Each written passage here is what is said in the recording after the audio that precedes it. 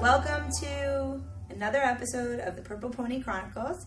Today I'm here with the legendary Mat Hoffman. You, how old were you when you hit the scene and really started to gain some fame and notoriety as a BMX legend? Um, well, I started, I started in, ran constant. Yeah, I guess I started getting in the media around 14.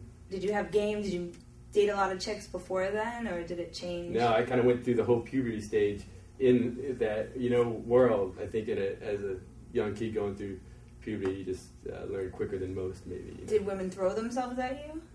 I remember a 34 year old when I was 15 picking up on me, you know, and I was like, Moms and stuff. yeah, I mean- that, that was kind of odd, you know. I was amazed when we did um, Ehren's pube face for the terror taxi, and you helped donate some hair. But what we found out is that you have like a or had a man bush. Right, there is some serious going stuff going on. So I was wondering what you thought about male grooming. I'm pretty hairy because I mean I just had my head shaved a week ago and it's already It's already going in yeah. like this. So I pretty much I'm like one of those uh, dolls that you just see the hair growing, you know. Wasn't she a pet? But we were talking about shaving our, ourselves yesterday. I, you and also sure. were just having this. we were having this conversation. He's like, "Yeah, man, it was just."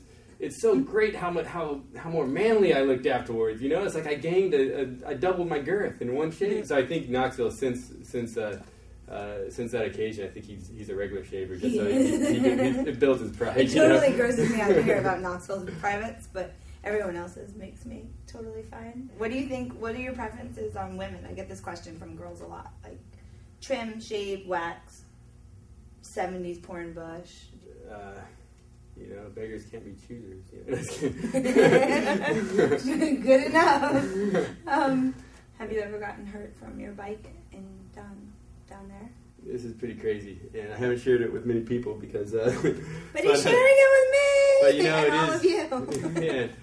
I was riding my, my ramp by myself at my house, and uh, and I was like, and I had a that weekend I had a demo coming up with Tony Hawk in Dallas, and you know, so I was like, okay, I'm gonna I'm just gonna work on a couple uh, couple old variations, but you know, just to throw into this demo, and so I was there's this one called a Canadian Air one hander where you do you do that, and then this foot comes in like like this, and so you're just all twisted kind of, and so it's just like you're juggling all around, and um, and when I did it, I totally missed my pedals coming in, and I so I put all my weight from probably like a eight foot air out of a twelve foot ramp or a thirteen foot ramp, you know, on on my seat, and those two rails popped through the seat, and then uh, so it's like two spikes coming out of the seat, pop poked through my pants into both sides of my balls, and pierced through either side of them. Oh, And- both balls or one ball?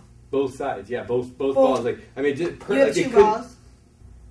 Huh? Do you have two balls? Yes. Okay, still- I so still- one is- yeah. I this. I'm still complete, but I've got to figure out something to kind of hold my balls together and, and have it so they, they min. So I, I broke off like some. I found some duct tape.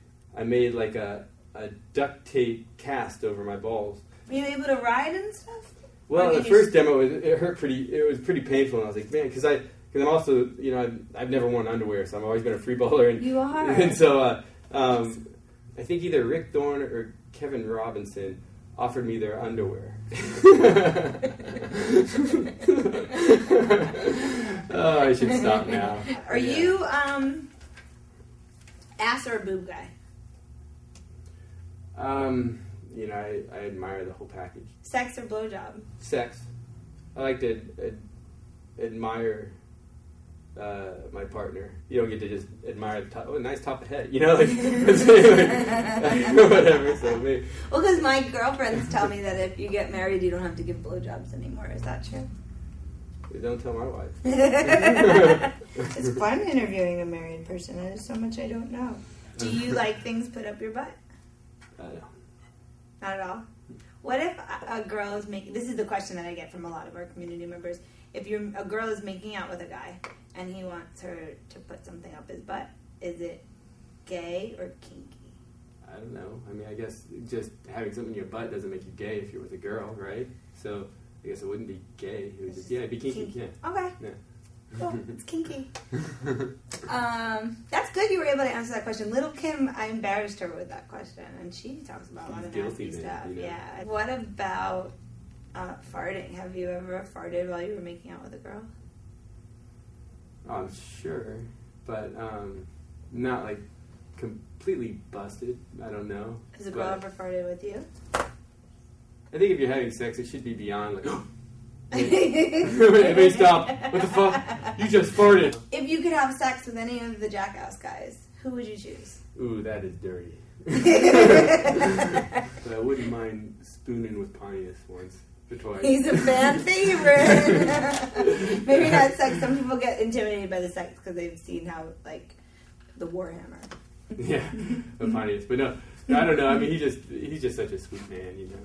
Oh, he's a, he would be a good color. Which one would you absolutely lowest on the totem pole, never touch with a ten foot pole? Knoxville. and there you have it, ladies and gentlemen.